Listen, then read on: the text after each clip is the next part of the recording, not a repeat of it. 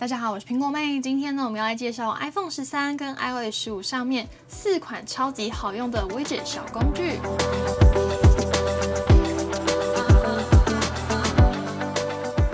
如果大家不知道是什么的话呢，它就是在 iPhone 的桌面上面，可以让你克制化你桌面的一个功能。iPhone 有自己内建的小工具，但是第三方呢也有非常多好用的小工具。那我们今天呢就来看一下这四款 App 分别是什么吧。那首先第一个我想要介绍的是这个极简风格的形式力兼阅历。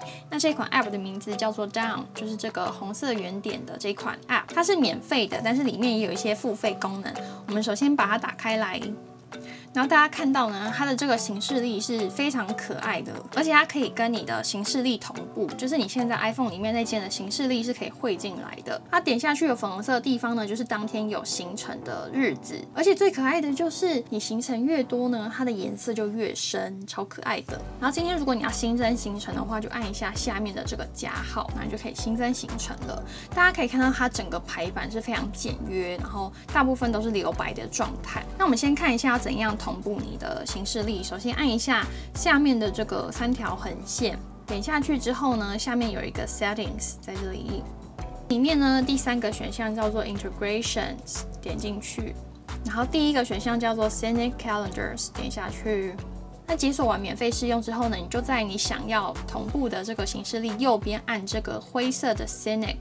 然后它就会变成这个粉红色的 Scenic，变成粉红色就代表它同步成功了。然后我们就回到下面的这个 Time，然后你就看啊粉红色的地方，就是你刚才从形式里面汇进来的行程。然后今天，例如说你有多个形式力在这个 App 里面的话呢，你也可以透过第二个这个按钮。点下去，在里面你就可以选择你单独想要显示的形式力了。再来呢，我们来看一下这款 App 它的 Widget。首先我们回到桌面，然后新增 Widget 呢就是长按桌面的空白处，然后在左上角有一个加号，点下去，然后往下滑去找到这样这个 App，点进去。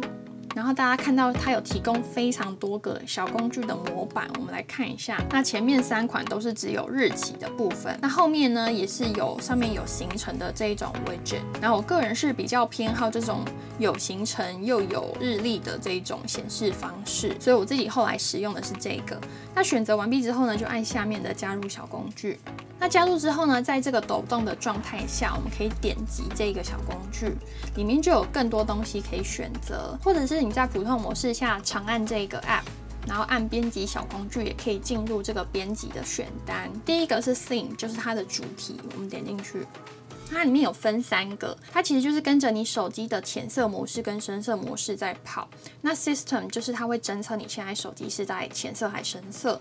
那 Light 就是我们现在看到这个白色配红色的配色。那 Dark 的话呢，就是黑色背景。然后再来，我们来看一下下一个选项，叫做 Tint，就是粉红色配色的部分。它的背景是白色嘛？那前面的字现在是粉红色的。我们点下去，那你就可以去选。它有三个选项，第一个是这样，就是粉红色的配色。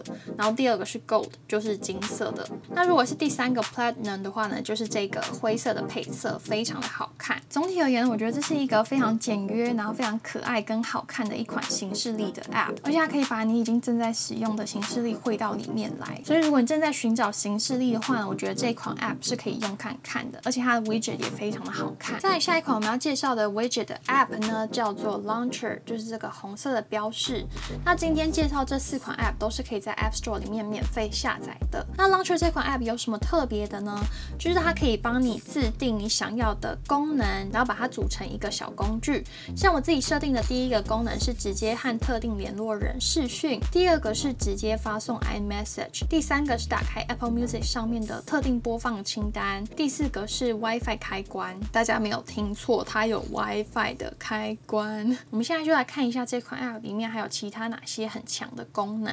点进来之后，大家可以看到有小、中、大三个栏位，你就可以依照你想要的尺寸点进去新增你想要的 Widget。刚才我放在桌面上的就是中等大小的，那它里面就是可以放四个你想要的功能。那要新增 Widget 呢，你就按一下。这个新增，那我们可以帮它命个名。然后在这边呢，你就看到它有四个格子，然后上面可以选择它背景的颜色，或者是你点进去想要使用你手机里面的照片啊，或者是你要汇入你的桌布，模拟这个透明的感觉也是可以的。然后这边呢，我们就可以来新增我们想要的功能了。它里面呢有非常非常多的功能，例如说你今天很常打给指定的联络人的话呢，你就可以直接选这个联络人启动工具。里面呢就有打电话啊或发送讯息等等的功能，例如说我现在选打电话，然后里面呢就可以选这个拨号，点下去，然后这边你可以帮这个功能命个名，命完名之后呢，下面就可以来选择你的联络人，我们按一下右边的这个电话簿，在电话簿里面点击电话号码，它就直接汇入了。汇入完成之后呢，我们按一下右上角的这个勾勾。然后再来我们新增第二个，那这一款 App 比较可惜的就是它里面没有 Line。然后再来呢，我们来看一下，例如说网络启动工具，就是你可以直接打开特定的网页。另外也有音乐的启动工具，像是可以直接播放特定的歌曲啊，或者是播放清单。但是这里面好像只有支援 Apple Music 里面的播放清单就是了。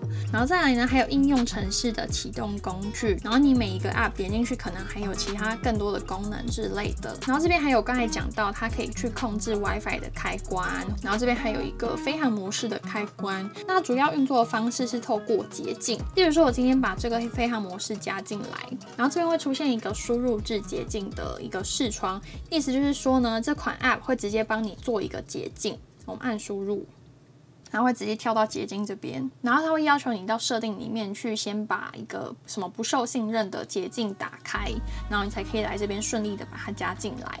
那现在呢，四个栏位都设定好之后呢，我们到桌面上面来，然后长按桌面，一样按左上角加号，里面就去找到我们刚才 Launcher 这一款 App，点进去，接着找到我们刚才设定好的这个 Widget，然后我们按下面的加入小工具，接着在抖动模式下点进去。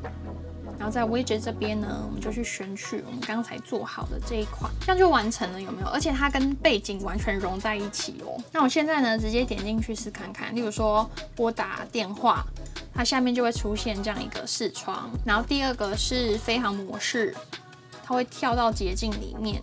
然后现在这个飞行模式就打开了。然后第三个是写 email，点进去，然后就会直接跳到新增 email 的地方了。再来第四个是播放音乐。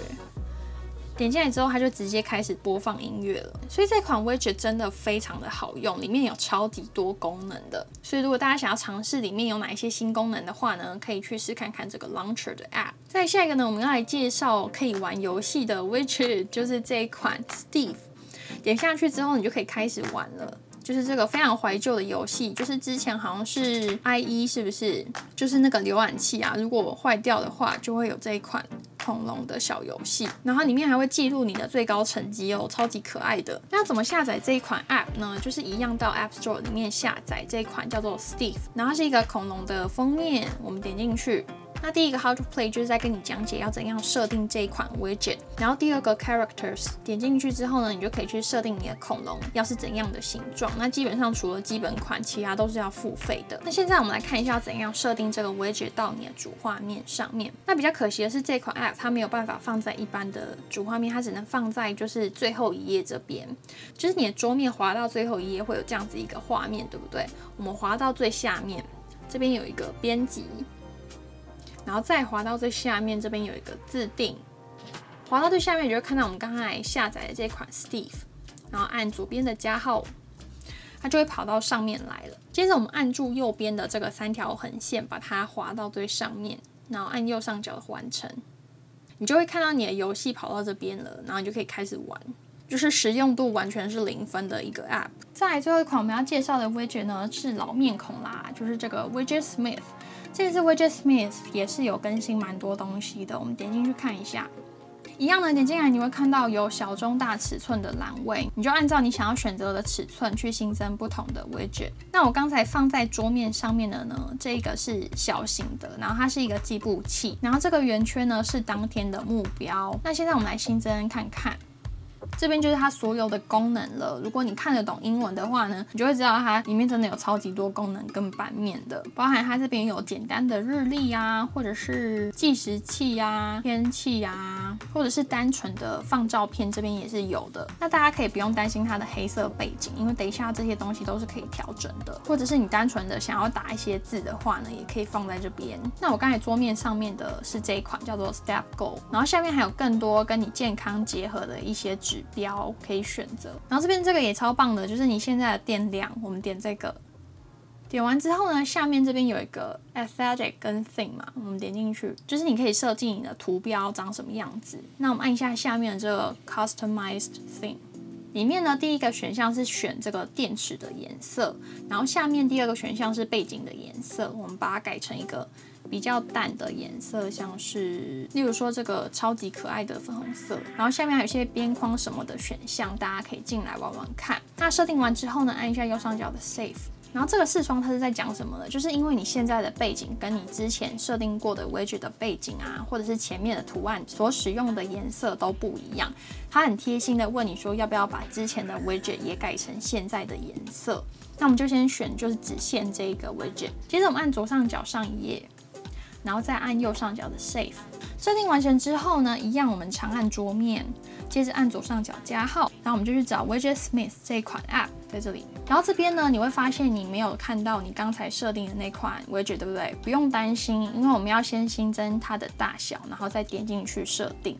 所以我们先新增一个小型的，接着在抖动模式下点进去这个 widget，里面呢有这个选项，对不对？我们点进去，然后里面有一到四号嘛，你就去选你刚才新增的那一款。然后这样子它就会变成我们刚才新增的那一款位置了。那这个电池容量比较可惜的是它没有办法显示百分比，不然还蛮可爱的。然后我们再来新增一个中等的，例如说我今天想要一个形式力的话呢，我就点这个 upcoming events，然后它有一个视窗问你说可不可以取用你的形式力，就选好。然后接着呢，一样在下面的这个 aesthetic 跟 thing 里面可以去选择你的颜色。那颜色的部分呢，就是选这个 customized thing，就可以去选它字的颜色啊，还有它的背景的颜色。然后按一下右上角的 save，然后继续再回到上一页，然后再按 save。所以总共要按两次 save，不然你等一下到桌面上面加入小工具的时候，你会发现加不进去。那现在我们先记好它是中等的二号，那我们到桌面上，然后这次呢我们要新增中等的，然后在躲动模式下呢按进去，这边呢就看到它已经选好我们刚才新增的那一款二号了。大家可以看一下我刚才第一款这样的这个形式力，还有最后一个 Widgetsmith 做出来的形式力，其实内容是差不多的。另外呢，如果你有私心认为非常好用的 Widget，也欢迎在留言区推荐我。我们今天这个介绍的影片就到这边，我是苹果妹，我们下次再见喽，拜拜。